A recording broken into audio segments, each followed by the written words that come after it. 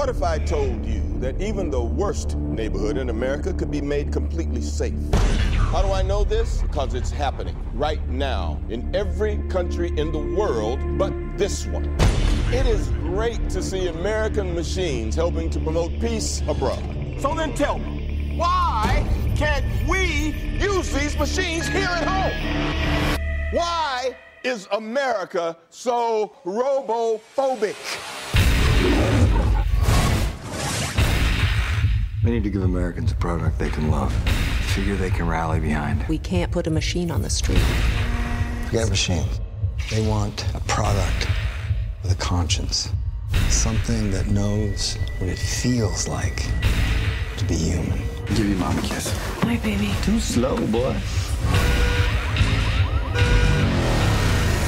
We're gonna put a man inside a machine.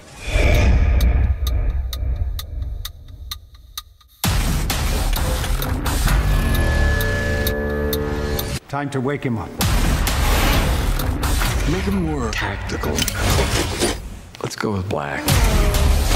Quality Control, EM 208 versus Tin Man.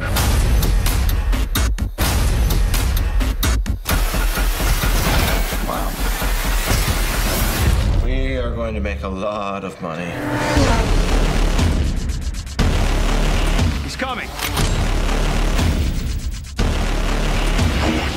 Gonna play good cop, bad cop? Bad cop, Robocop. He's undoing what we did to him.